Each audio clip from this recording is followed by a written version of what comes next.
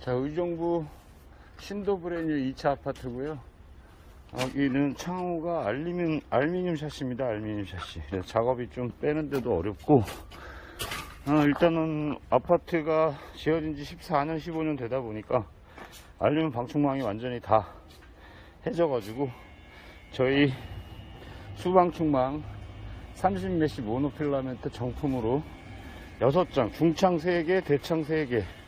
자, 교체, 전체 교체하고, 이따가, 어, 다시 창호 다 어, 넣어놓고 또 영상 찍도록 하겠습니다.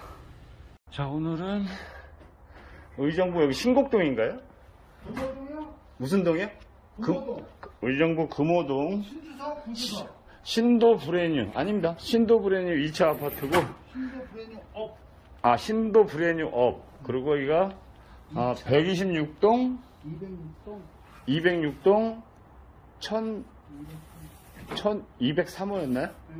자, 여기 대창이 3개 나왔고요. 지금 뭐 사장님 보셨지만 깨끗하죠? 방충망 없는 것 같죠? 이제 초미세벌레 절대 걱정 안 하셔도 되고요. 그래서 베란다 쪽에 3개, 그리고 여기 작은 방 하나, 중창 하나, 그리고 세탁실 쪽에 또 중창 하나, 나머지 하나가, 어, 저기지. 작은 방에 또 중창인데 이것도 폭이 한 메다 거의 한 메다 좀 조금 넘는 것 같아요. 작업이 좀 쉽진 않았고 이게 좀 커요. 네, 여기 좀 컸고 그리고 여기가 알루미늄 샷인데 모르 화이샷인지 알고 계신 분들 많을 것 같은데 여기는 알루미늄 샷이고 아파트는 지어진 지 한 14년 5년 됐기 때문에 어, 샷이 빼고 넣을 때 조금 뭐 많이 까다롭지는 않지만 살짝 까다로웠고요.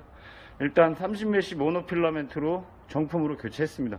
환기도 잘 돼요. 이게 촘촘하니까 환기 안 된다고 걱정하시는 분들 계신데 지금 뭐 바람 잘 들어오잖아요. 다 열어놓으면 환기가 엄청 잘 되니까 벌레 안 들어오니까 마음 놓고 환기하셔도 됩니다. 자 오늘 여기 전체 다 30메시 모노필라멘트 정품으로 교체 완료했습니다. 마음에 드시죠? 네. 진짜죠? 고맙습니다.